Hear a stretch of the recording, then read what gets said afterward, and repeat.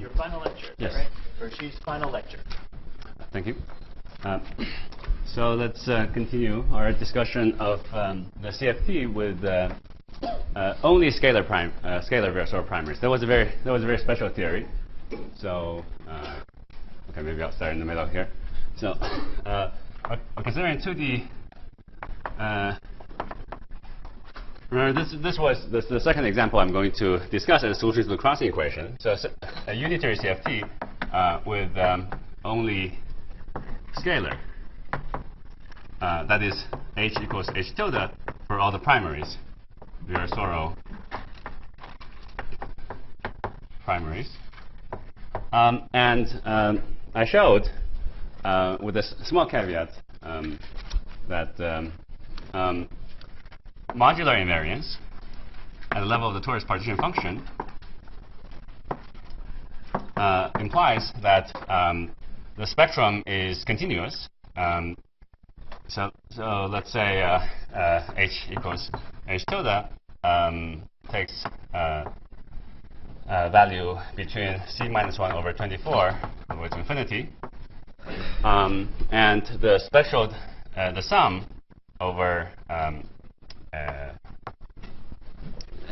the weights, uh, the sum over the primaries in the partition function is now replaced by some continuous integral from this infinity with some special density which is unambiguously determined by modular invariance up to overall normalization.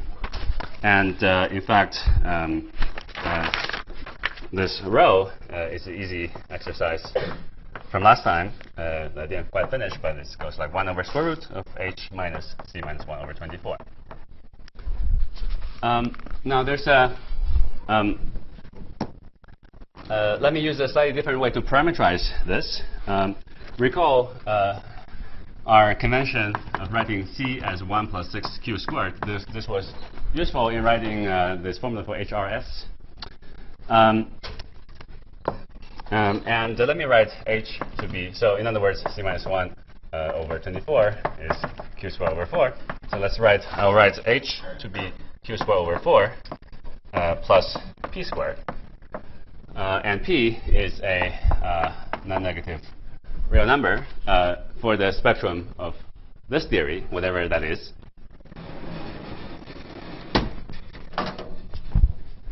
Um,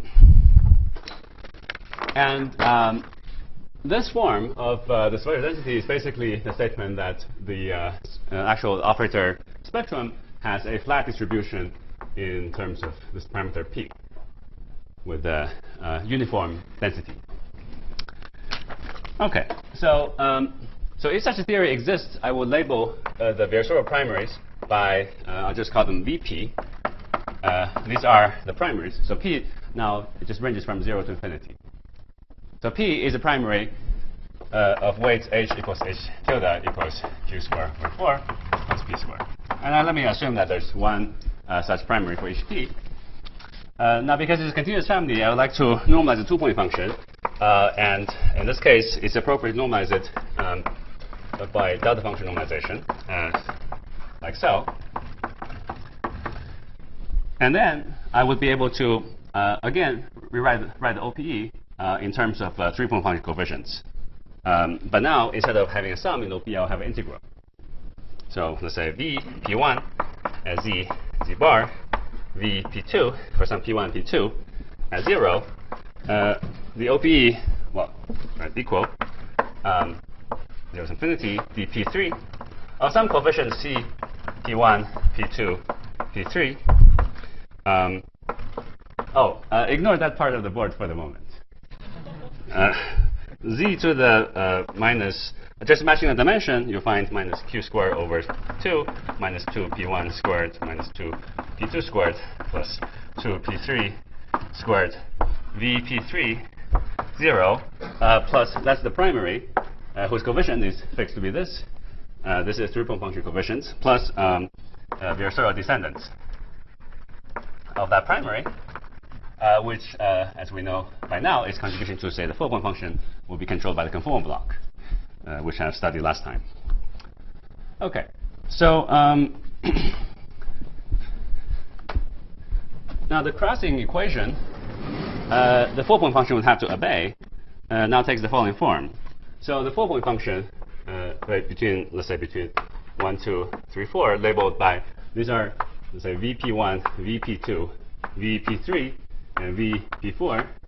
Uh, this four-point function will have a conformal block decomposition, which now is a continuous integral over this entire family of um, Virasoro primaries. Integral, uh, I'll call this intermediate guy P. And then, uh, so this four-point function in, written in formula would be integral from 0 to infinity dp of c p1, p2, p, c, p3, p4, p, and some uh, conformal block, which uh, I'll write uh, as a mod squared because h and h tilde are the same thing. Um, h4, and intermediate h, which is again q squared over 4 plus p squared uh, z mod squared. So there's another factor involving z bar. I write like this. Uh, one should be careful that if we want to discuss, uh, let's say, the continuation of this into Lorentzian signature, it will no longer be the mod squared. But so far in Euclidean signature, this is a correct formula, uh, provided that this, uh, all these operators are scalars, because so h tilde is equal to h. Otherwise, for the f bar, I have to put the h tildes. But the matter is different from three I'm sorry? But the matter is different uh, from four. Sorry, what's, what's different? I mean, the, ma the measure for the integral over p. Oh, no, no, no. I mean, here, well, um, uh, here, uh, the, the measure is 1. This measure factor is 1. Right? So, so here, uh, I use the same uh, um, uh, measure, and then there's some coefficients. I mean, th this really comes from the normalization, my normalization convention here. So once I delta function normalize it, uh, you just, I mean, it, it follows from this OPE. okay. Um, so that's in principle how you would compute. Uh, by the way, uh, as I emphasized before, this theory doesn't have a normalizable SL2 invariant vacuum, which is why there's no weight zero state in here. And if that's if that theory really exists, uh, it would look like the four-point function would be decomposed like this. Um, the intermediate internal primaries that I, we sum over or integrate over uh, still starts at the value uh, c minus 1 over 12 uh, over 24. Okay. Uh, but now the crossing equation imposes a very non-trivial constraint that this should be equal to this. Uh, so, uh, so this, if I write in formula, that means that the crossing equation says that this should be equal to this guy um, with uh, um, one. And, uh, let's see, one and three switched. One, yes. P three, P through P, C, P1, P4, P. And here, um, we again switch 3 with 1. Um, and um, z is then replaced by 1 minus z. So this is a very non-trivial uh, set of equations that hold for all values of z. Um, now you can wonder whether uh, you can ever find a solution to this equation, and amazingly enough, there is a solution, which I write up here. Uh, so uh, the top formula is uh, uh these OP coefficients. Um, the formula for this OP coefficients, where this Upsilon sub b, the b is, I forgot to write, as we have used before, q is defined to be b plus 1 over b. That's the same b that appears in the formula for HRS. That's the subscript b here. So given this, the q is b plus 1 over b, you can define this um, uh, Upsilon function, also known as the Barnes double gamma function, is defined uh, in the range if the real part of x, its argument, is uh, between 0 and q, uh, this integral converges to define the function, and then you can um, and then continue this to the rest of the complex plane. It turns out to be an entire function uh, with um, generically with simple zeros um, uh, at some locations. Um, in fact, for now, let me not even discuss the analytic property of this function too much. some some relevant formula in the lecture notes. Um, um, me, I'll just make a few comments. So this formula was uh, first discovered by uh, Dorn, uh, Otto, and by uh, the. Um, uh, around the, uh, around 94, 95. Um, it's called the DOZZ formula. Um, uh, I wrote this, uh, if you look at their papers, uh, the formula looks slightly different from what I'm writing here. They differ by some um, uh, phase factors, actually, uh, which, uh, and the difference of that is because I used a slightly different normalization convention as was in those papers, but this is a more natural convention for my purpose. now, that formula was um, uh, the, the, formula was derived not by solving the crossing equation directly. That is an extremely difficult thing to do. Uh, it was solved by analyzing the so-called Liouville theory. So in fact, um, this spectrum I just described to you, um, together with these OP coefficients, completely determine a consistent CFT. Uh, this, this CFT is known as Liouville CFT. Liouville CFT. Um, so um, uh, let me just tell you uh, what this theory would look like in the conventional Lagrangian description, uh, if that gives you more psychological comfort. Yes. So before uh, one do the derivation of rho h, there's a constant. There's an overall constant, yes. That's, that's ambiguous. You, you, you can't fix it because um, you can choose that, choose that constant to be anything. It will solve all the consistent requirements that I'm demanding here. But uh, for Ferenger, uh, well, uh, strictly speaking, the storage Baryon function has a divergent factor in front. So um, uh, now, um, uh, so indeed, so in this case, the overall normalization of the spatial density is not fixed, and uh, um, uh, but that, that's always the case for these kind of non-compact CFTs. Now, um, I may or may not have time to comment later on the connection between this kind of non-compact CFT, where the spectrum is continuous, to compact CFTs. So sometimes uh, it can happen that uh, if you have some family of compact CFTs with some moduli of exactly marginal deformation, you can tune these parameters, and in some particular limit, the spectrum become degenerate. And uh, so uh, the spectrum becomes denser and denser above some gap, um, and uh, this non-compact CFT will be a, a description of uh, that approximate continuum in that singular limit. So, so, so the divergence of the Baryon function is actually expected in that case, it would it come, it's overall divergence coming from a uh, divergent uh, density of uh, states. So I think for different constant, uh, uh, theory? Uh, essentially, yes. So essentially, yes. So is there a unique solution to this? Uh, I'll, I'll, tell you something about that. Uh, yes, conjecturally, it is a unique solution. I'll tell you about evidence for the conjecture. Um, it was not proven, but uh, um, but there's numerical evidence for this. I'll tell you how, to how this numerical evidence was, was found in, in just a moment. Okay, uh, so uh, uh, the Liouville theory uh, in the Lagrangian language will be described by a single field in, um, uh, with an action, uh, alpha stands for Liouville.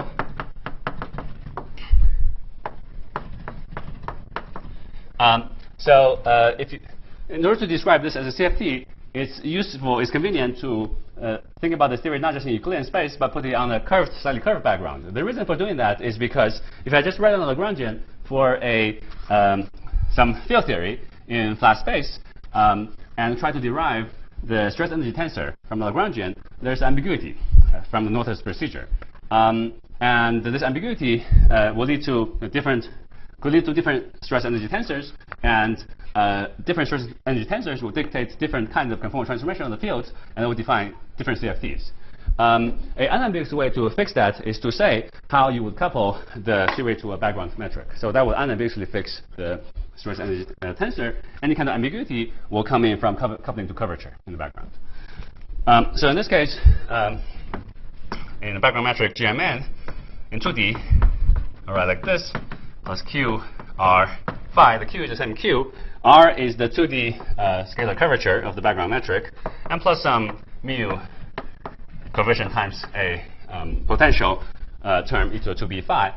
Um, so um, if you didn't have this, uh, this Lagrangian uh, is uh, uh, free, defines the so-called linear dilaton theory.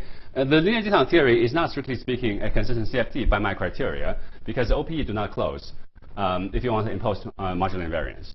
Um, but um, if you have this, um, then uh, uh, it turns out that this defines a good CFT. So uh, one way to motivate this is that uh, if you view this uh, potential term as a deformation of this linear dilaton CFT, um, uh, it would look like a marginal operator. But it takes some work to justify that that's actually defines an exact conformal field theory. So the, this marginality is not spoiled by uh, uh, renormalization, uh, and that's not completely trivial to, to justify. In particular, um, it's not a priori actually clear that you can think of this exponential scalar potential as a quote unquote deformation because it really changes the spectrum of theory. Just like in quantum mechanics, if you start with a particle in a, in a line and then you add a exponential potential that will change the spectrum. so, um, uh, but you can study this. Um, you can you can literally just put this theory on the cylinder by the conformal transform and do canonical quantization. You can write down the Hamiltonian for this and try to quantize it. Um, and uh, if you do that, you would say that on the so let's say this is space sigma, this is tau. Uh, you would say that this field has some Fourier expansion to Fourier modes like so. um, uh, and you can treat this as a quantum mechanical system whose degrees of freedom are these phi n's, these Fourier coefficients. Um, now, if you uh, focus on the zero mode, phi zero, is subject to this potential uh, v, call this this guy v of phi. Uh, so at least in some uh, naive approximation where, where you put a theory on the cylinder, uh, and let's say suppose you can ignore the non-zero Fourier modes, then you it zero mode is just a quantum mechanical system with a uh, exponential potential like so. And we know, all know how to solve the spectrum of that quantum mechanical system. We just have uh, waves come in and reflected back out. So all the states are reflection, um, uh, are um, scattering states. Uh, and of course, the energy of that state will translate into the conformal dimension of the operator, Vp. The P is nothing but the momentum of the asymptotic scattering state. So that's an interpretation. Uh, but from this description, it's a little hard to get the exact formula that will take some uh, non-trivial insight, which I will not explain in detail here. Yes? How is the potential bounded? Uh, how is the potential bounded? What do you mean? It's, uh, it's Large negative values. it goes to zero on one side, goes to infinity on the other side. Happy with the term. Uh, sorry. Uh, what happens to the linear term? Oh, uh, well, the linear. Ah, um, uh, well. Sorry. Uh, uh, that, that's correct because the linear term is uh, proportional to background curvature. Actually, I also have a related confusion. Is it assuming we can we can we can couple here or travel uh uh surface a negative negative curve? There is always one there is always one case that this, this action is not wrong. There's always one condition. is always always one condition that this action is not local, not have a wrong. Well, uh, if you want to put this on a space of negative curvature, uh, viewed as a conformal field theory, the appropriate way. So first of all, you know there are various ways you can regularize uh, and renormalize this uh, uh, this Lagrangian. Uh, w- if you choose a bad regularization, it may not be conform, may not define CFT. So if you already know that you choose the correct regularization so that this defines the CFT, you put it on some arbitrary curved background. Uh, you want to perform a conformal transformation to put it into the standard, let's say Euclidean disk with some boundary condition. And now there- there's an interesting question of what kind of boundary condition will be allowed, but that's beyond the subject of my lecture. Any other questions? Okay, so um, that's the second example, and now I'm going to tell you a bit about um, uh, the question I was asked earlier, uh, whether this uh, solution is unique, and how can we possibly uh, address such a question.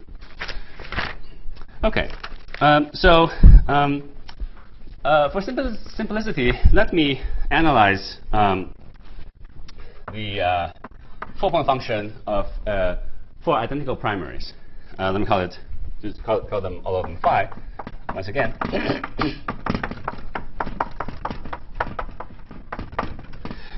um, and the crossing equation, uh, as you have seen there, uh, would be now written in the following form.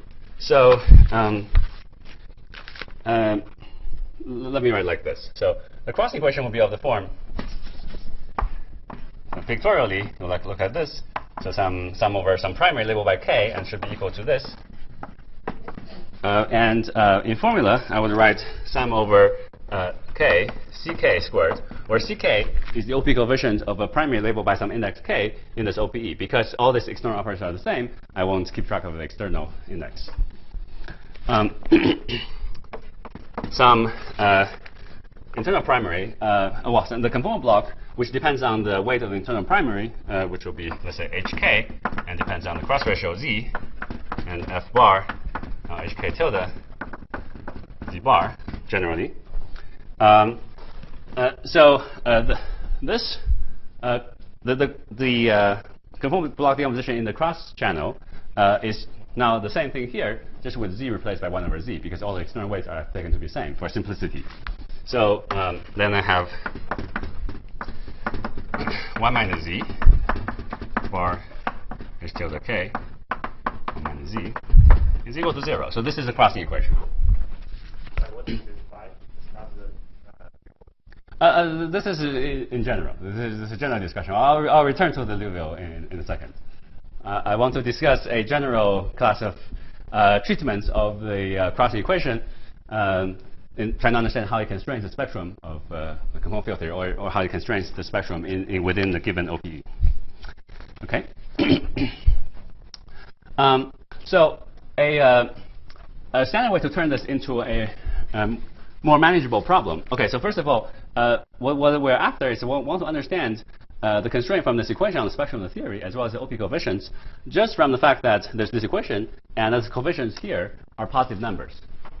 In the unitary CFT, the OP coefficients in the appropriate basis will be real, and this OP coefficient squared appears here, which is positive, which, which is non-negative. so, um, in order to, so I want to turn this into uh, some kind of a set of linear constraints, which it already is on this set of positive numbers. Um, uh, and um, in practice, it's useful to expand, uh, to do just a Taylor expansion around a crossing invariant point. Sorry, bar here. Crossing invariant point, which is z and z bar both equal to one half. Um, so that's easy to do uh, by taking derivatives. So let me so so I can turn this equation into the following equation. Um, sum over k, ck squared, call f m hk, f n hk tilde equal to zero, where f m of h is defined to be derivative of back to z, the cross ratio to the mth m times, uh, evaluated as z equals one half of f conformal block as function of the internal weight and z. I'm uh, I, I'm omitting the external weights here, of course, because uh, uh, uh, well, uh, but e- even though the conformal block, of, of course, still depends on external weight as well as external charge. Uh, so this will be true for m n, both the negative and m plus n an odd number, because you get the minus one to the n plus n from acting on this. So, so if I take n plus n to be odd, then uh, these two terms give the same contribution to this derivative, and I just get this. This is m derivative in z, and derivatives in z bar. Okay. um, okay. Um,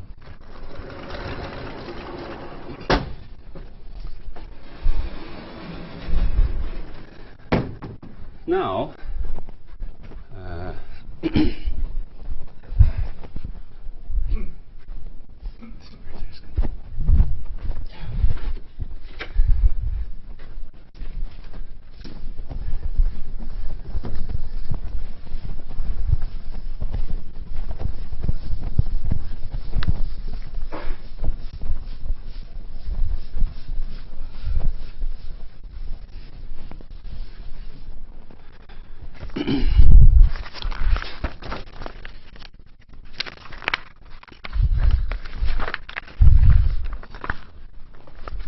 in fact, um, just to uh, use a shorthand uh, notation, let me. Uh, I'm going to de- denote this whole thing by f upper mn as a function of h and h hk and h tilde k, just so that I don't have to write this separately. Okay. um, now let me define the following object.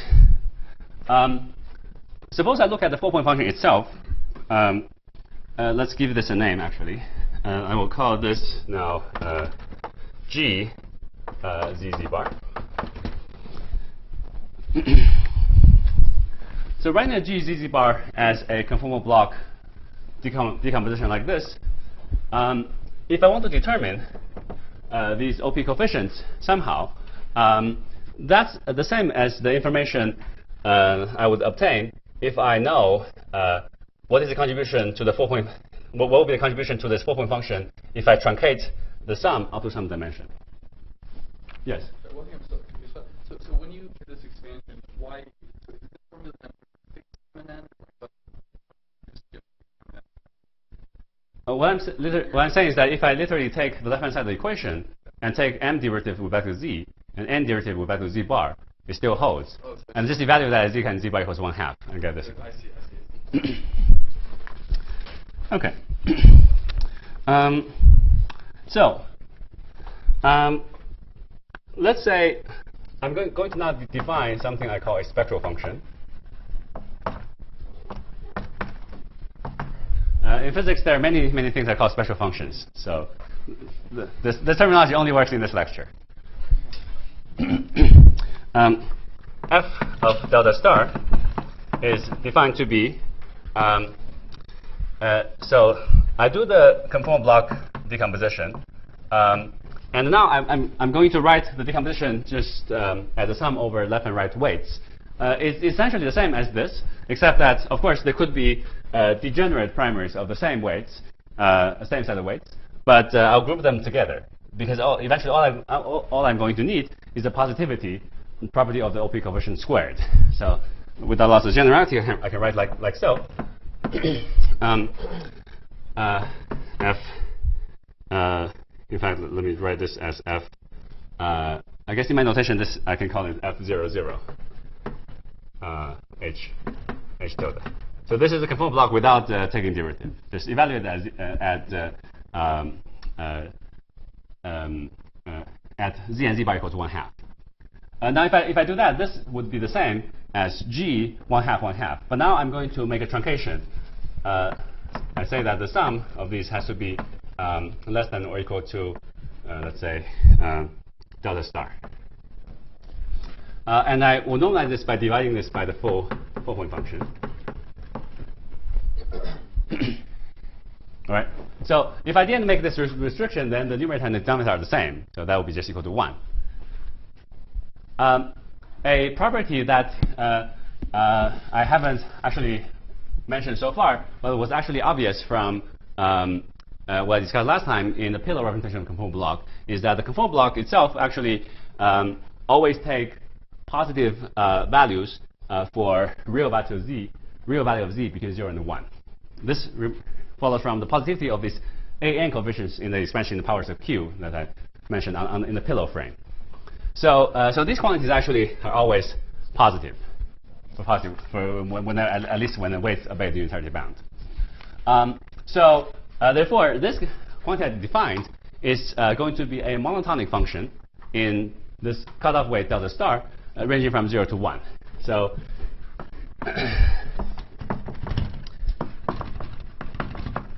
in actual CFT, let's say if you have some vacuum, you could like, you know, it, it, it should be some, some kind of monotonic function. Now, of course, if the spectrum is discrete, then this thing uh, is going to be of the form of some step function. It's going to like jump like, like this, maybe. Uh, but eventually as, as, asymptotes to 1. Uh, if the- spectrum is continuous, uh, in non-compact CFT, it could be of some form like this. Okay? Um, now, it is evident from what I've described so far that um, is still there. Let's say you take the external operator to be the same. Uh, if you know the spectral function, then you know the OP coefficients of the over normalization by taking derivative. So this contains really the same amount of information in this context. Okay. Now, the reason that I define this is that um, there's actually a a useful way to uh, bound this um, numerically uh, just from the positivity of these coefficients. So let me explain that.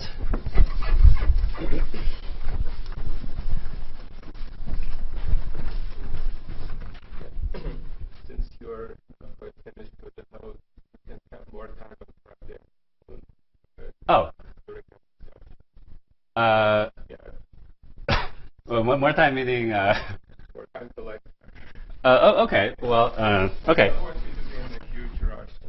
Uh, no, I'm not. Uh, I'm not in a huge rush at the moment. Not yet.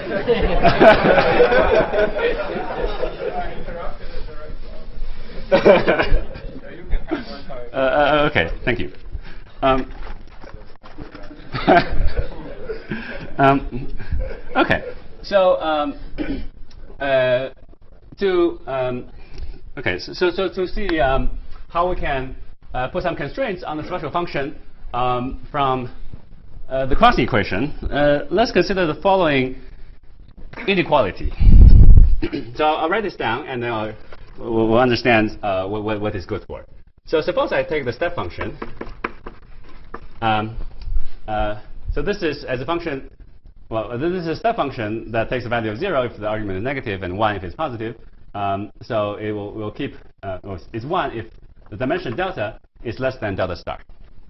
I, I, always write delta to be h plus h tilde. Now, uh, of course, um, uh, in this way of defining it, I will not be keeping track of the spin uh, because I'm just truncating on the over overall dimension. Uh, you can modify this definition, but uh, since I'm going, going to soon apply this to Liouville theory, uh, in which case h and h tilde are equal, this is good enough. um, let's consider the following inequality. Uh, some coefficients y0, 0, and some m plus n odd, mn non-negative, um, y mn, f mn, h h tilde, divided by f 0, 0, h h tilde. Recall f 0, 0 is positive.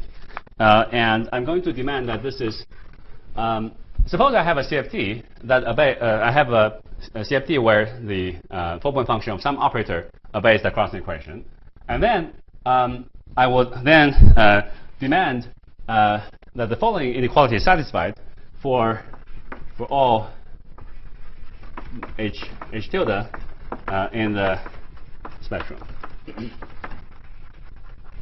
um, for some, so this is uh, given given delta star, uh, we will seek uh, real numbers, numbers, uh, y0, 0 and ymn, where m plus n is odd.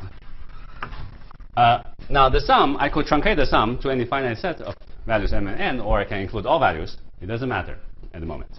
So um, now I don't know whether a priori I can find the number such that this is satisfied. But for now, let me su suppose that I can. Okay, suppose suppose there exists uh, a set of values y0, 0, y, y0, and ymn such that this is uh, all obeyed. Um, then, um, if I um, now, uh, so this let me call it star. This is this inequality. Um, uh, now, if I uh, sum over uh, uh, H and in the spectrum with C uh, OP coefficient squared um, times um, F 0, 0 H, H tilde, which is also positive, uh, then times this equation star. Um, uh, okay, maybe I should call the left-hand side uh, star. Maybe, maybe uh, the, the left-hand side is this star. So this will still be uh, negative, obviously. Um, but what do we get here? Now I've arranged this so that this thing will cancel against this, uh, and if I sum up this fmn with c squared, uh, that's supposed to be zero. That was the content of the crossing equation. So if I do the sum, then all these terms, each one in the sum, will cancel out. As I said, the sum can be any finite set of integers m and n, such that m plus n is odd. Okay, so, so this part is gone once I do the sum. Um, so re it remains to analyze these two terms. Uh, but uh, you see that uh, what I get is that if I this y0 is, a is, is just a number. So so then the sum gives me um, the four point function at cross ratio one half. And if I do this sum, I just get a truncated four point function as the cross ratio one half. The truncation is on the internal primary sum. So if I divide the, this by the overall four-point function, that is equivalent to, to be saying that the special function minus y0, is non-negative. so, uh, in other words, y0, uh, is a lower bound on the spectral function. So I do this once for every delta star. Okay. Um, so if I can do this, I will find a lower bound, which is which will be a rigorous lower bound. It may not be optimal, depending on how many of these YMNs I include here. Yes. Yes, yes, it will depend on delta star. So they say, given delta star, then you seek y0, 0, YMN such that this is obeyed. Right. Um, and likewise, okay, so, um, and furthermore, um, uh, razors are wet.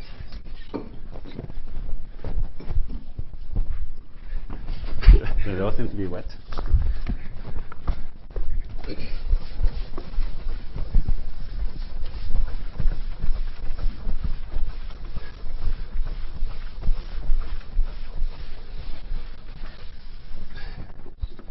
Okay. Um, so um, uh, if then um, uh, if I then uh, maximize uh, y0, 0 subject to that inequality, uh, I will get uh, perhaps a optimal uh, lower bound on f of delta star. Likewise, I can uh, minimize y0, 0 subject to the opposite inequality, and I'll get a upper bound on the spectral function. Okay, so uh, so you might wonder what kind of bound do you actually get get in practice? Um, just to illustrate uh, how this works, uh, and discuss a very very simple example, a toy example, before coming back to Liouville theory.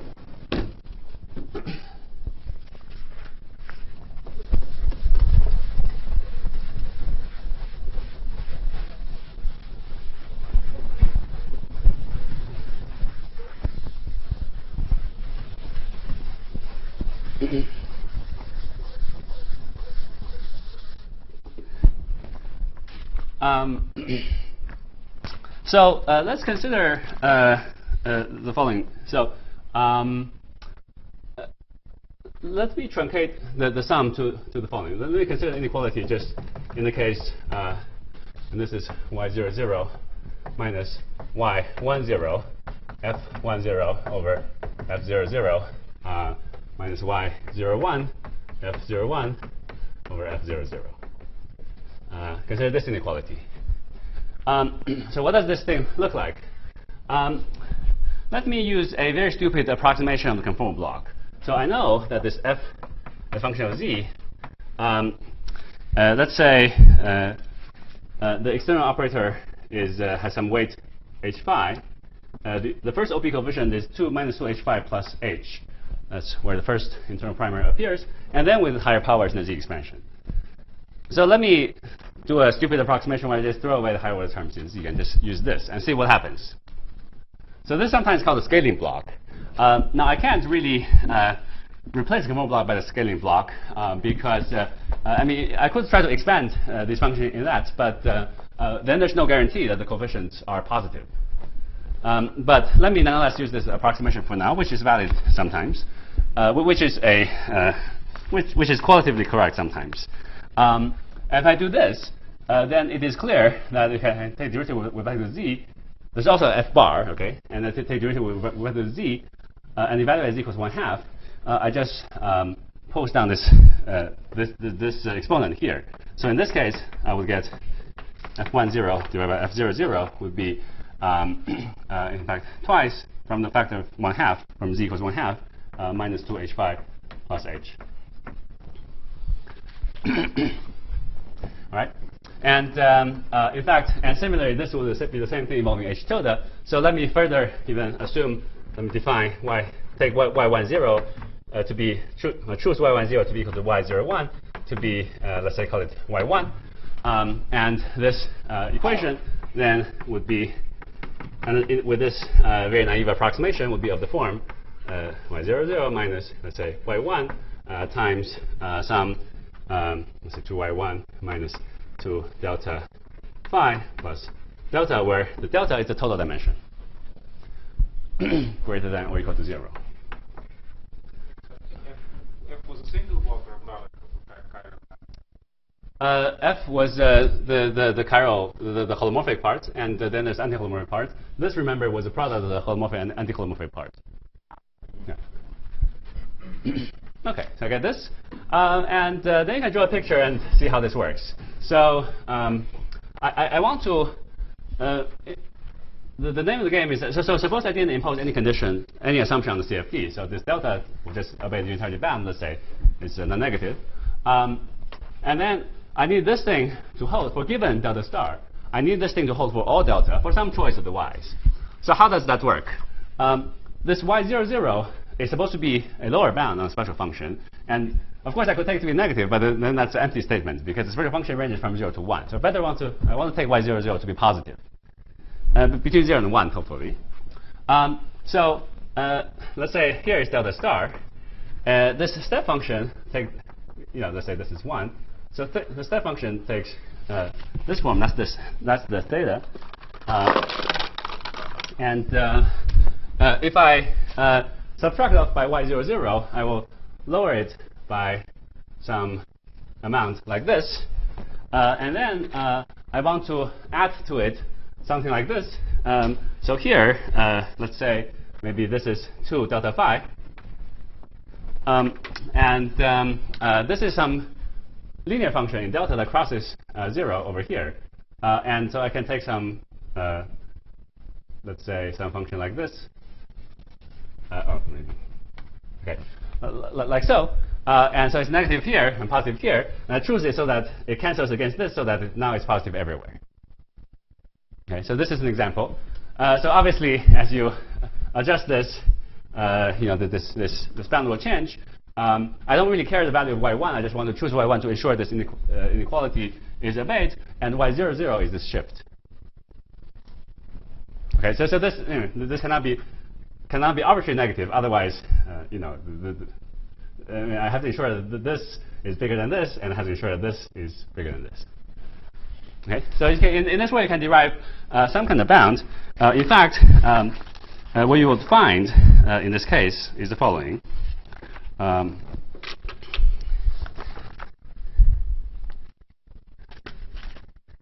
um, ah, uh, what, you, what you find is that in this case, uh, the lower bound y00 is, uh, as a function of delta star, uh, is basically, uh, because of this approximation, it is basically uh, 1 minus 2 delta phi over delta star. Uh, so that actually by itself is a, it's a, a slightly uh, amusing result uh, because it says that it tells us that um, there, if this approximation is valid, of course it's not quite correct, but you can correct this. So qualitatively it's, it's correct. So if, if, you can trust this approximation of the conformal block, then you would say that spectral function um, has to be um, uh, bounded from below by some uh, function like 1, 1 minus 1 over delta star, something like this. Okay. Uh, this actually is, uh, uh, well, this, this hold would hold everywhere, but um, asymptotically for large delta star, of course, it tells you that the contribution from, from higher and higher dimension operators to this formal fun function will be smaller and smaller. Um, so I'll give you an estimate of the tail contribution. Uh, unfortunately, this, this estimate is not very good.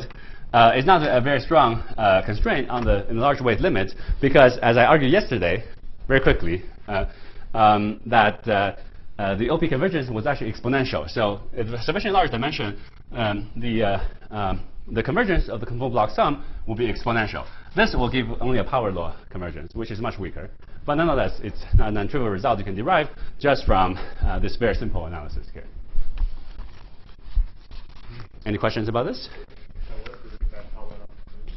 Uh, that it goes like 1 over delta star. This, is, this says that See, this is lower bound on the spectral function, which uh, asymptotes to 1. So if it's uh, 1 minus a small number, it tells you that the contribution from operator dimension above, above delta star is suppressed by this number. But I'm saying that this bound is actually rather weak because the actual optimal for, at least for sufficiently, sufficiently large dimension, will be exponential. Okay. Um, so uh, uh, now, if you um, now if you do this maximization minimization procedure um, with all the uh, higher order derivatives, um, you know, m and n, taken into account, uh, you, well, you, get stronger bounds. But uh, of course, you know, so far we only know how to do this numerically. And numerically, this can be done using uh, semi-definite programming. Uh, and there's some computer, um, nice computer packages uh, for this.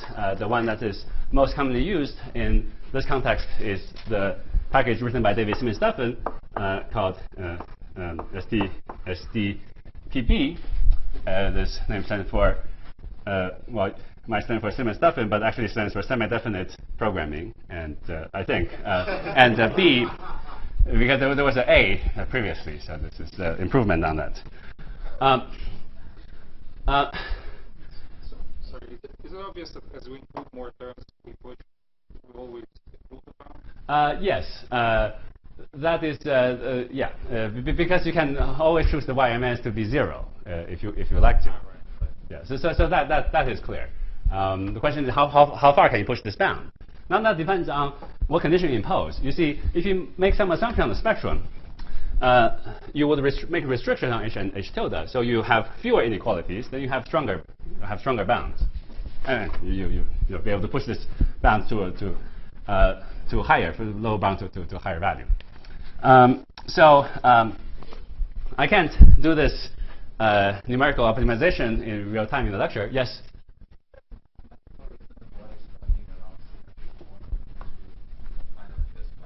Um, well, so first of all, I should say that um, uh, under some uh, assumption of analyticity, uh, doing the Taylor expansion is, is good enough. Uh, because we know that these things are supposed to be analytic functions um, in the neighborhood of uh, z equals 1 half. Um, now, uh, there's a question of numerical efficiency, and there are different ways to do this. You can, you can take arbitrary linear functional um, on the space of function in z and z bar. You can, instead of taking derivative, integrate with the kernel. It just happens that numerically this seems to be the most efficient way to do it so far, but uh, perhaps analytically it's not uh, very good for some purposes. For example, here we already saw an example. So um, uh, here, by using derivatives, uh, you get a bound that is actually rather weak uh, for, for, the, for the purpose of finding a tail contribution. And there's actually a clear reason why it is weak, because um, yesterday when I discussed the exponential bound, uh, it was important to use the convergence of the control block expansion near q equals 1. Um, and then you go to smaller q, you get uh, exponential convergence. Um, here I'm expanding around uh, a different point, which is equals 1 half, which actually corresponds to q equals e to the minus pi, which is a tiny number, so it's kind of far away from that.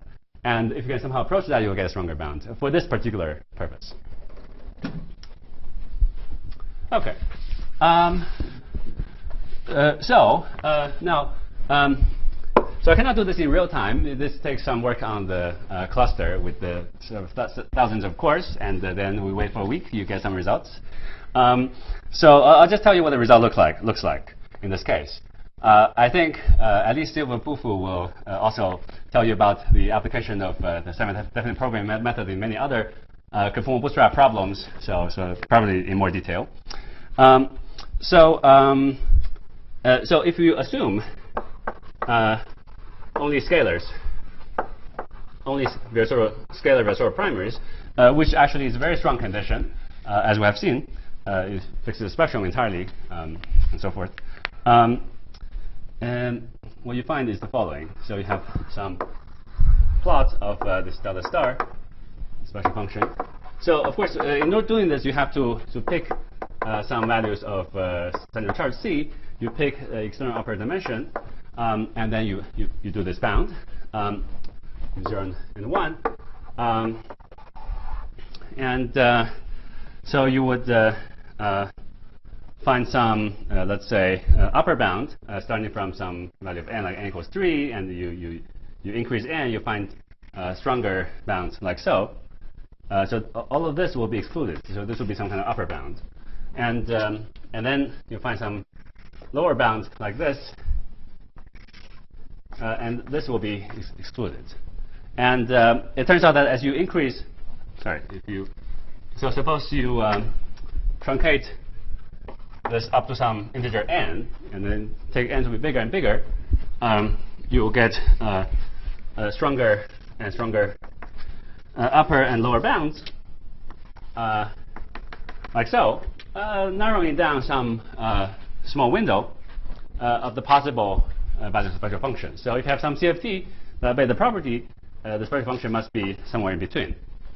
Uh, and if you actually, so it turns out this numerical convergence is fairly slow, and uh, we cannot push this window to be to be too small. But uh, if you actually uh, calculate the spectral function of Liouville theory using um, just numerically using the this very complicated DOZZ formula for the OP coefficients and using um, the recursion relation I described last time to compute the conformal blocks, uh, you will find the spectral function basically lies right in between in this window. So this is Liouville. Um, so conjecturally, uh, one might hope that if you push uh, this uh, uh, numerics, let's say, to higher order, this might actually converge to this bound. It's a little hard to see uh, with the current uh, numerical technology, uh, but there's another way to arrive at the same result that is perhaps more convincing numerically. I'll just mention that very, very briefly. Um, um, that, that is the following. So, um, um uh, if you look at uh, these two inequalities that give rise to uh, upper and lower bounds, um, of course, a, priori, this, this bound, of course, will not coincide. If they coincide, they will pin down the spectral function. But in this case, we do expect to pin down the spectral function. So um, uh, that would happen if, uh, uh, you know, for example, you could anticipate that if you can solve the equality instead of the inequality for some set of y's, uh, then the upper and lower bounds will coincide. Uh, so in that case, so you, you might try to find um, a set of y00 and ymn such that the equality is satisfied. Now, for the inequality, you have to truncate on the n. If you want to have to solve the equality, you have to take n to infinity. So that's um, you have to take that limit. But um, you can nonetheless truncate uh, on this n and uh, view this. Well, you can view this as a um, equation on um, uh, uh, on the space of functions in the weights. Um, and you can, uh, with some appropriate inner product on the space of weights, say the, positive real line in this case, um, you, the, the, space of you consider a suitable class of space of functions um, that span some Hilbert space, and um, uh, you pick an appropriate basis for that Hilbert space, the, which is space function of the weights, and take the inner product of this equation with that basis and make some truncation. You can solve uh, this uh, set of equations uh, just by solving some big linear equation and extract the coefficients y0, 0. And you can ask whether that solution for y0, will be stable with respect to um, increasing the truncation on the basis. Um, it's a little bit technical thing, and um, I don't want to discuss that in its entire detail. There's some discussion of this in the lecture notes. Uh, I'll just tell you what the result looks like. The result of that uh, is um, you'll find you'll directly solve y0, uh, and you'll find some uh, uh, some solution that kind of oscillates a little bit here and basically merges onto the Liouville spectral function. Um, so in this way of, uh, so, so that's basically, uh, in some sense, a direct numerical solution to the crossing equation in this case. Um, and that heavy, heavily relies on the fact that, uh, on the assumption that the upper and lower bounds do um, eventually agree as you optimize, um, uh, as you take this n to infinity and optimize the, the bounds. Um, but this way of solving it, uh, so first of all, kind of the convergence is more convincing uh, because it kind of numerically agrees very well. You can see uh, the, the plots in um, uh, our uh, paper on this from February, I think, um, or March, forgot, maybe February. Um, in this way of solving it, uh, in fact, uh, this, this wiggles, which will eventually settle down as you increase the uh, numerical precision by including, say, higher order terms in the um, uh, higher order terms in the uh, truncation on the, on the order of the Q expansion of the Virasoro component blocks. Uh, th this Wiggles indicates that in this way of solving it, um, the spectral function solution is not uh, manifestly monotonic. So in fact, I have not used, um, in this way of solving it, I would not uh, have used unitarity. So unitarity implies that the, the uh, OP coefficients are positive, positive uh, or negative, so the function is monotonic. Uh, but here I don't even need that assumption. I can just directly solve um, this uh, equality and, um, and get the result for y00, which matches on with the Liouville spectral function. So that would, I would say is a numerical evidence that in fact the uh, DOZZ formula is a unique solution to the crossing equation. That was the question earlier. none of the wiggles will disappear if you impose these positivity. Oh no, I mean the, the wiggles settle down. Um, uh, I mean, I, I, can do various things, but I'm saying that th these wiggles will settle down, uh, will, will, disappear will as I increase the numerical precision. Okay. So, so, so, so, I mean, I'm just saying that to some, in fact, I'm exaggerating. The, the actual wiggle is even smaller. So, um, uh, as we uh, actually, uh, it depends on the uh, uh, very much. It's very much sensitive to the order of the Q truncation on the order of the Q expansion of the control block actually. So if you don't go to very truncation to, if you don't do the truncation to very high order, you get some huge oscillations and, uh, and then eventually settles down. Yes?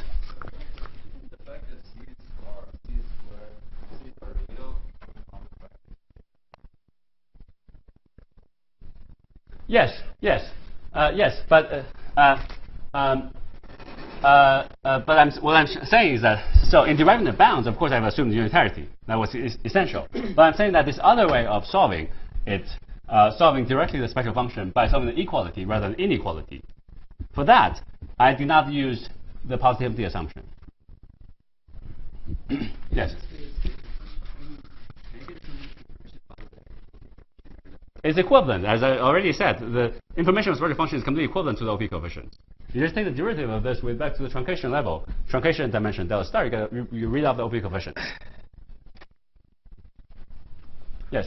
But uh, the other way of solving this, the solving the is positive, there's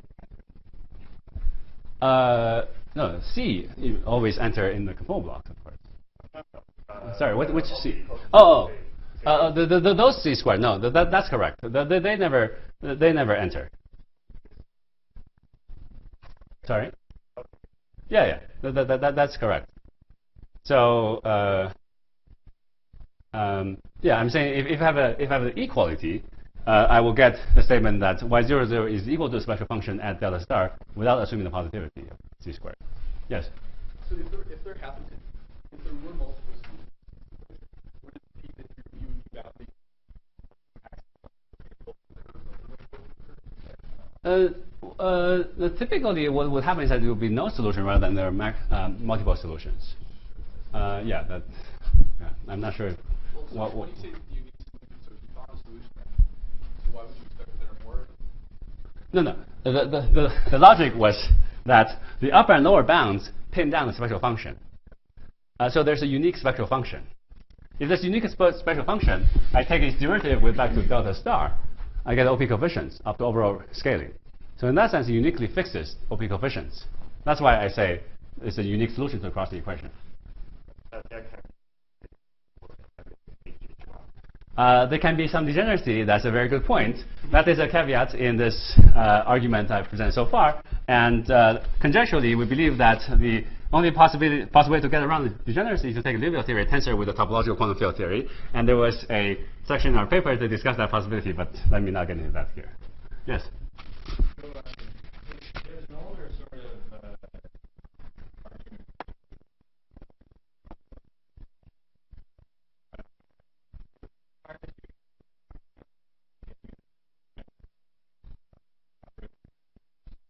Uh, wait, wait, wait. I mean that.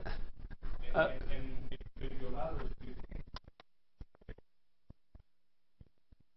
derivation from the assumption that only scalar primary? I'm not sure if that's the only assumption needed.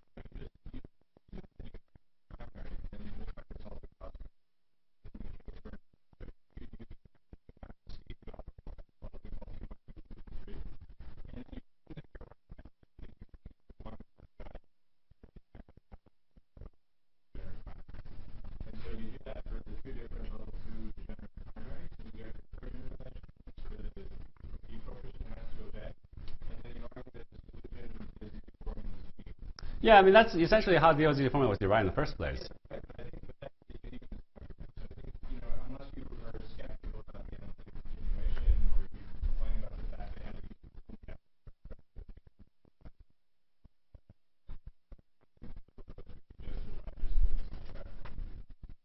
Um, let's see. The, um, the Coulomb gas approximation is a big, big assumption.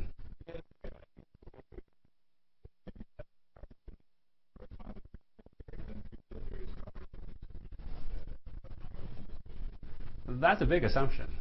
Yeah, you could try that. Yeah, I mean, you can try various things. I mean, you can certainly try to establish that, but uh, you know, th- th- there's there's much more there's much more input to. I mean, I, I mean, this argument is used for me. Yeah, but but the, the, the argument essentially makes some assumption about the, the, the underlying descrip- Lagrangian description is uh, involved with a one scalar field.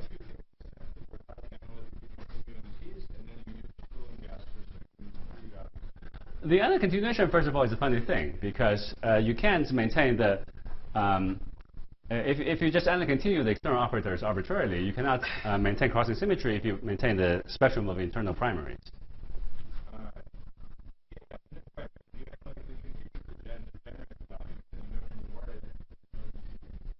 Th- that is true, but I mean, there, there's there's a lot that go into that argument. We can we can discuss this later, but there's a lot that go into that argument. You, for example, uh, the OP coefficients have a bunch of poles, and if you want to continue arbitrarily the external operator dimension, some of the poles will cross the contour, and uh, uh, the crossing equation will no, no, no longer hold unless you include some extra contributions, uh, the residue contributions. So uh, that that is.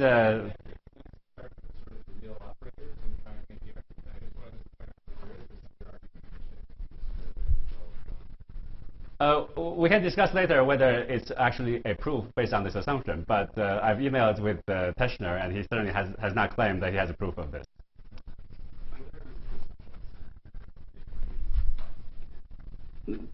We can discuss the validity of these actual assumptions later.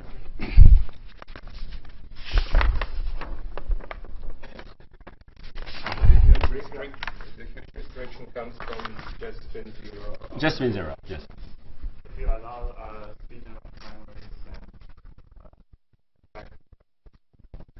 Um, uh, it turns out that um, the, the, the same conclusion will hold uh, if you assume that the spin of primaries is bounded. Uh, so just assumption that spin of primaries is in the bounded range up to say 100, it turns out that the modular invariance would already kill any other possibility other than only scalar primaries. It's not obvious, but we have a proof in the paper. So. Uh, so the statement is that every CFT that's not Liouville theory would actually have uh, necessarily have uh, primaries of all spins. I mean, unbounded spins at least. Um, okay. Um, um, now, uh, the, the next thing I want to discuss, uh, which I guess I won't uh, really finish, but we can continue for a bit on Friday, um, um, is uh, uh, to use the similar technique to constrain uh, general 2D CFTs. Uh, but of course, before that, I need to review uh, what's actually known about 2D CFTs, what sort of classification we have. So um, I won't, certainly won't have the time to go through each of the known 3D CFT in detail, but I'm going to spend five minutes describing uh, the class of known CFTs and then, take the, uh, th- then spend the rest of the time taking questions. Um, so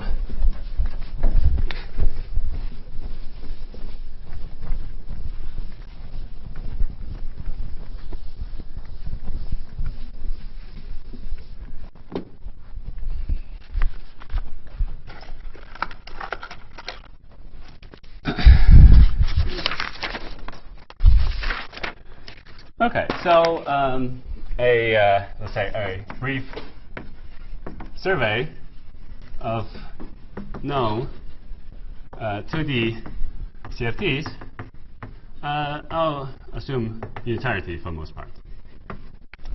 Okay, uh, we have seen, uh, or at least mentioned, uh, min- minimal models. So I'll come to that in, in a second. So the first class of theory you might want to consider are free theories. Uh, but in the in 2D, uh, at least let's say if we want to start with the cl nicest class of theories, which are, which are compact CFTs, uh, you can't quite take the free boson by itself. Um, you have to take you have to take the compact. You, know, you have to take the compact free boson. So the, the, the field X will be kind of periodically identified. Um, but the more general version of that is the Narain lattice uh, CFT. Um, so uh, you have some uh, signature n comma m lattice, uh, which is even and unimodular. So that defines a general um, free boson CFT with left center charge equal to n and right center charge equal to m. Um, uh, if you want to impose uh, strict modular invariance, you will need to impose c minus c tilde to be an integer modulo, modulo 24, um, but you can relax that assumption. Um, so this describes a large class of uh, essentially theories, which are free bosons, but with some intricate details on which, which are, are, are the allowed uh, primary, uh, Virasoro primaries. Uh, you'll probably see uh, more of this in the lectures on moonshine. Um, okay, so as I said, I'll, I'll, just go through a list and you can ask questions later uh, after I'm done with the list. Uh, so given a CFT, we can, we orbifolds. So you have some CFT with, uh, uh, say, uh, symmetry, discrete symmetry, let's say, discrete uh, symmetry, group G, uh, you can uh, gauge that symmetry and produce an orbifold theory. that you can do for the Narain lattice CFT, for example. You can, um, you can find some symmetry of the lattice, or the some symmetry of the CFT based on this lattice. Uh, and, and consider uh, gauging that symmetry. Uh, this is actually a generally a well-defined procedure. Um, and um, it produces a new, new CFT. for example, a specific Narain lattice of signature 24, 0 uh, called a Leech lattice. If you do a Z2 orbifold, you produce the so-called monster CFT, which uh, plays an essential role in the um, monstrous moonshine story. Um, you can Uh, okay, good. Uh, I was going to. Uh, um, okay, this, uh, I was going to answer questions on this later, but let me just say a few words now. So, so the idea is basically the following. Um, uh, let's start with so consider a torus partition function. All right. Um, now, if you consider um, the original CFT on the special circle, you can twist it by an element of the symmetry group uh, just by inserting that uh, uh, charge, um, the, the symmetry ch charge on the uh, uh, on, on the torus uh, function. so the the spatial direction is untwisted. I call it know, by identity. So it's untwisted. It's twisted in, in the g direction. Um, so this thing is well defined given the original CFT because all I need to know is how the group element act on states. If I perform a modular transformation, I'll produce this one, which tells me the spectrum of the G twisted sector. So this was something that would have to be included in the spectrum. Now, uh, generally, um, the way I want to think about, I can think about this uh, action by G, is that it introduces a what one, one could call a topological line operator. It winds around uh, some loop uh, on the uh, surface, uh, on the Riemann surface on which the CFT is defined. And uh, the definition of this is you cut it open and you uh, um, you um, you cut open the Riemann surface. You have the space of CFT on the circle. You act on it with element G, and then you glue it back. Uh, and it's the, the, the fact that G is a symmetry is equivalent to a statement that this thing is topological in the sense that you can move it around without changing the answer. Okay, but uh, but uh, to get the full uh, to get, get the full answer, you have to know uh, something like uh, G here and H here. Um, that's a little trickier. And to do this um, requires some much more work. You have to analyze the full point function. So you can analyze uh, some twisted uh, sector operator. So this thing, this operator itself, uh, will come with a um, with uh, will be will come with a this topological line operator attached to it. So it's in G1 and G2 uh, like so, and this will be some G1, G2 inverse, and, and maybe some G3 and G4. this four-point function of the twisted uh, operators would exist, provided that the product G1, G2, G3, G4 is equal to 1. And again, by applying crossing, uh, you will be able to uh, go from, uh, let's say, this is just 1, so G, uh, G inverse, maybe some H, H inverse, H, H inverse. You can, by crossing, you can produce GH, uh, GH inverse, the general uh, OP coefficients, like, so. Uh, and uh, then by going to some particular channel, taking some particular OP limit, you can actually produce this. So uh, there's um, a slightly elaborate procedure in general. Uh, in practice, this is actually quite cumbersome to carry out. People have other clever ways to compute in, in special cases. That, that, that's roughly how it goes.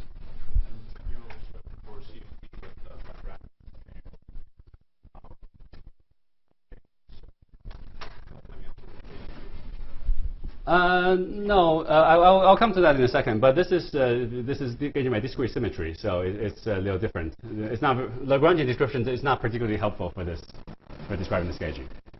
Uh, I should say that sometimes this gauging will be will suffer from 't Hooft anomalies. So um, so even though the symmetry is a good symmetry, if you gauge it, it suffers from some kind of discrete gauge anomaly, uh, and that can be de detected by seeing that um, uh, if you start with this, this character, you may get I know, something that's not consistent with the expected modular property. So th this can happen. Yes? So are we thinking of it as orbifold in the sense that we take, we, we want to take our operators and make it like equivariant and then we sort of, just like we do in like normal, uh, when you like the string orbifolds. Uh, I mean, this is uh, the, the, same as that, um, I but I want to describe in the language without ever referring to Lagrangian. Yeah. Okay. Um, um, okay. So um, the next class of um, examples are um, WZW and uh, uh, coset models.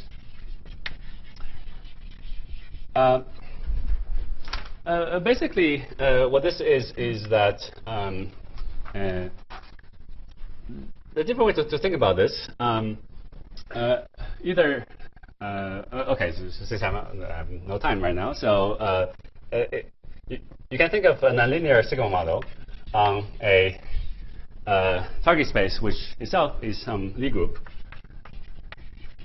uh, G, um, in, practice for unitarity, this needs to be semi-simple, um, and um, uh, with some uh, uh, non-trivial, well, with some non-trivial coupling, which uh, I, I, don't want to. I, I, okay, let, us say. I'll just, just say with, with H flux. If you want to know what H flux is, you have to look at uh, the lecture notes or Polchinski. Um, um, uh, it defines a, a class of uh, uh, uh CFTs with some uh, continuous symmetry, G, which is associated with some Noether currents. I can call them J, A, Z, and J tilde A, G bar. Um, so uh, there's some, uh, these currents turn, turn, out to be uh, separately holomorphic and anti-holomorphic, separately conserved.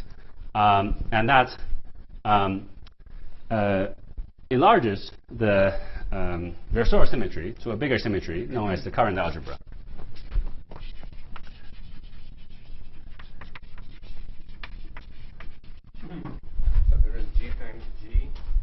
Uh, there's G times G current algebra uh, which roughly speaking associated with the left and right uh, group action on the uh, on the Lie group. So you have uh, when you on the, on the Lie group, you have left and right action giving giving rise to two sets of Noether currents, but each one is actually enhanced to infinite set of Noether currents because they are purely holomorphic, just like the Virasoro.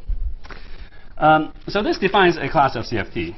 Uh, uh, so, so typically we call these G hat K um, theories. Let's say that involve the G hat K current algebra K is also called level, uh, which is, uh, I won't, uh, I don't have time to write a definition of this, but uh, uh, it's some, typically some uh, positive integer, and the central charge of this theory is K times the dimension of the group divided by K plus HG, where HG is the dual Coxeter number of that Lie group. Never mind the details. The point of this formula is that in a large K limit, this looks like a classical theory on the on the target space looks like uh, the, um, uh, the central charge will approach the dimension of the group, which is the uh, number of uh, uh, uh, bosons that describe, um, well, that are in this linear sigma model Lagrangian.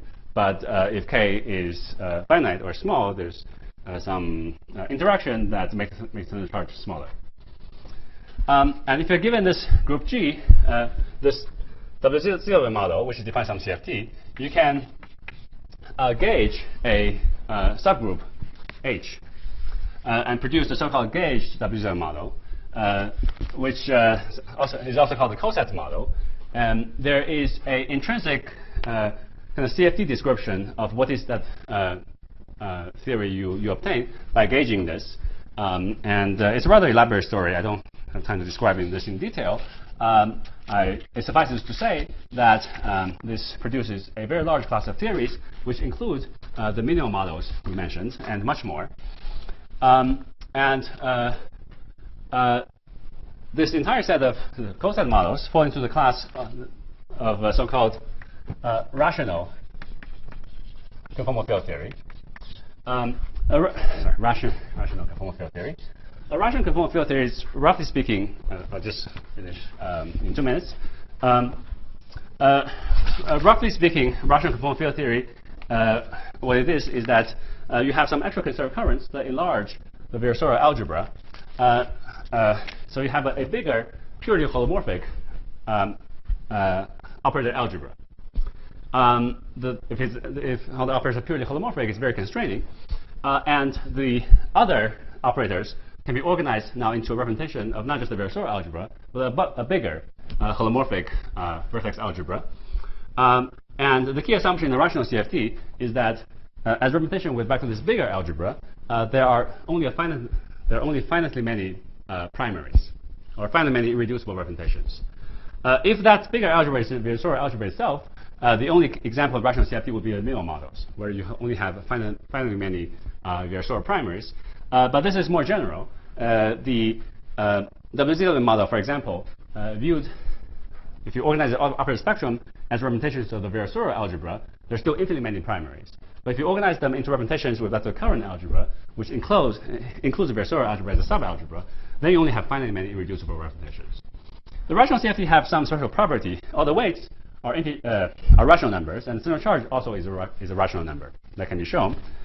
Um, and um, apart from these, uh, the other class of known CFTs are based on uh, or have uh, uh, that are kind of robust, uh, have robust constructions, or have super symmetries, so super conformal theories. And since I shouldn't be going over time too, by too much, I will I will stop now, and maybe we'll continue for a little bit more tomorrow.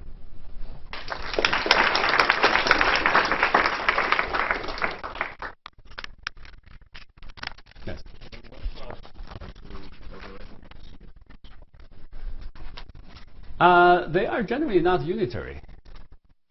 Uh, so L0 cannot be diagonalized. So then, yeah. If for about unitarity, you can enlarge. Uh, but, but as far as I know, I think the examples are still very limited. I mean, they're, they're typically based on some kind of free theory or something.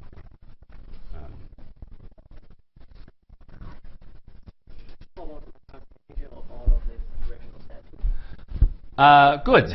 Uh, so at one point, uh, maybe sometime uh, in in the 80s, um, uh, there was a effort in trying to classify rational conformal field theories. Um, there are different things you could mean by classification. I think to some extent, some people just try to classify the possible operator spectrum. But we'll, we know that operator spectrum actually does not determine the, the, the, theory. There are um, you know, theories with identical operator spectrum but different OP coefficients. So I would say we're actually very, very far from classifying rational CFTs. Um, it, usually, one characterizes rational CFTs by how many irreducible representations with back to this bigger holomorphic vertex algebra there are in the theory. And the simplest case, you would say that it would just have one uh, single representation. So the entire CFT will be a holomorphic vertex algebra. So this can happen if, uh, let's say, the central charge is equal to uh, 24k, and maybe c tilde is equal to 0. So this will be purely holomorphic CFT, uh, sometimes usually called mer meromorphic CFT, uh, where k is uh, integer, that is positive integer. Um, and um, so this will give the simplest class of rational CFTs in the sense that there's only one irreducible representation back to this vertex algebra. Uh, but even this is far from being classified. Uh, so uh, I guess in the k equals 1 case, it is uh, classified, but for k greater than uh, 1, it's very, very far from being classified. So do this theory Uh, uh, these? Uh, okay, so first of all, let, let, let me clarify the language a little bit. Uh, so uh, whenever I speak of CFT, I want to impose strict modular invariance. And so invariance of point function and the tau tau plus 1. Um, so if I impose that, I would uh, only allow integer spin operators. Uh, so now you might say that I would uh, exclude all superconformal field theories because the, the supercurrent always have half integer spin. Uh, but in fact, there's a standard construction that produces a fully modular invariant theory in the strict sense from one with half integer spin current known as a GSO projection. So I take a superconformal theory, I do a GSO projection, I produce a something might call bosonic, but I didn't I don't want to use the word bosonic just because you know these are just all CFTs. Uh, so when I, when I speak of a classification, I'm referring to the classification that includes superconformal theories. So if you have a the theory, even though the GSO projection will kill the spin 3 halves supercurrent, there'll be a, generally, for example, there could be a spin 3 current made of a pair, uh, normal ordered of the, the super uh, spin 3 half supercurrent, and that will survive the GSO projection. So that will still give rise to a enlarged um, um, uh, holomorphic uh, operator algebra beyond Virasoro. Because you have spin 3, spin 4, and so forth, even if I don't have spin 3 halves. Uh, so when, when, I speak of classification, I would want to would like to include those, uh, uh, of course, as, as well. No, I haven't exhausted my list yet. I, am uh, I'm, I'm out, out, of time. So yeah, maybe we should. Uh,